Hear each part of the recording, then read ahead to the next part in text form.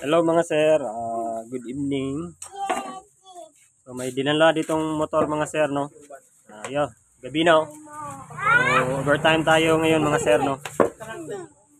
So issue dito mga sir, ayan no. XRM 110 mga sir.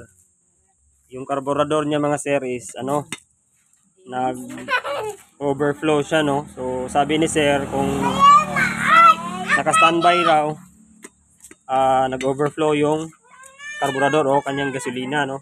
So tumataga siya. So ito mga sir, konting ano ta basic tips lang to no sa mga carb na motor no. Ayan. So kapag nag-overflow mga sir, so ito lang ganito lang ang solusyon niya mga sir. oh.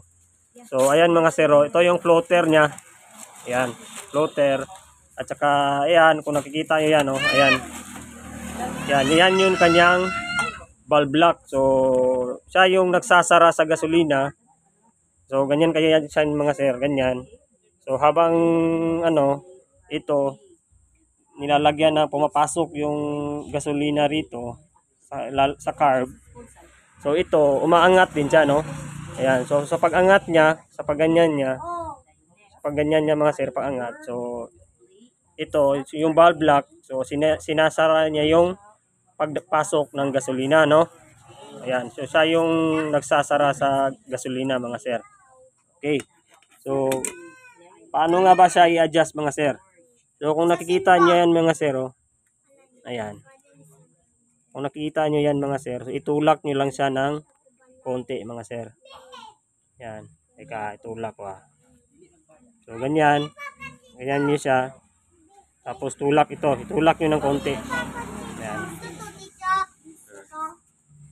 So kung nakikita niyo sir, mga sir, yung float niya umangat. Ayan. Kanina ganyan yun eh. Naka-level. Ngayon, umangat siya. So kapag ganyan kaangat mga sir, i-testing nyo muna no.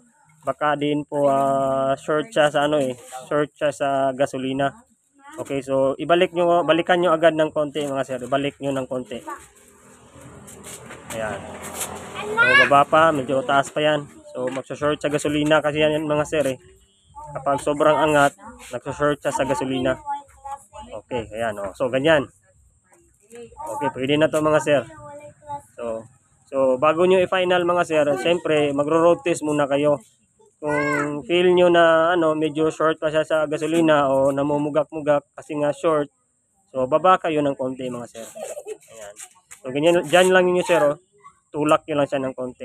Ayan, para mag close siya mga sir, no. Iko-close ng valve lock yung daluyan ng kanyang gasolina. Okay, so alright mga sir. So sana ay nakatulong mga sir. Ah, good evening. Okay. Oh, sa Simba.